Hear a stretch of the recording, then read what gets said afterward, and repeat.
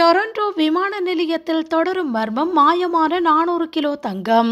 கனடாவின் பியர்சன் விமான நிலையத்தில் நானூறு கிலோகிராம் எடையுடைய தங்கம் காணாமல் போய் ஓராண்டு பூர்த்தியாக்கியுள்ளது எனினும் இதுவரையில் காணாமல் போன பொருட்களுக்கு என்ன நேர்ந்தது என்பது கண்டுபிடிக்கப்படவில்லை. சுவிட்சர்லாந்தின் சூரிச் நகரிலிருந்து கனடாவுக்கு இந்த தங்கம் மற்றும் இரண்டு மில்லியன் அமெரிக்க டாலர் ரொக்கம் விமானம் மூலம் அனுப்பி வைக்கப்பட்டது. கடந்த இரண்டாயிரத்து இருபத்தி மூன்றாம் ஆண்டு ஏப்ரல் மாதம் பதினேழாம் தேதி கனடாவுக்கு அனுப்பி வைக்கப்பட்டது. இந்த தங்கம் மற்றும் அமெரிக்க டாலர்களின் மொத்த பெறுமதி சுமார் இருபது மில்லியன் டாலர்கள் என்று தெரிவிக்கப்படுகிறது.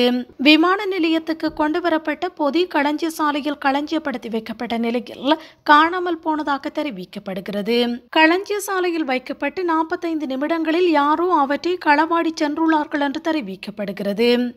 இந்த பெருமதியான பொருட்கள் மாயமாக்கி ஓராண்டு கடந்துள்ள நிலையில் விசாரணைகள் தீவிரமாக முன்னெடுக்கப்பட்டு வருவதாக பிஎஸ்என் போலீசார் தெரிவிக்கின்றனர். இந்த கடத்தல் நடவடிக்கையுடன் தொடர்புடையவர்களை கண்டுபிடிக்க முடியும் என்று பிரம்டன் நகர முதல்வர் பெட்ரிக் பிரவுன் தெரிவித்துள்ளார்.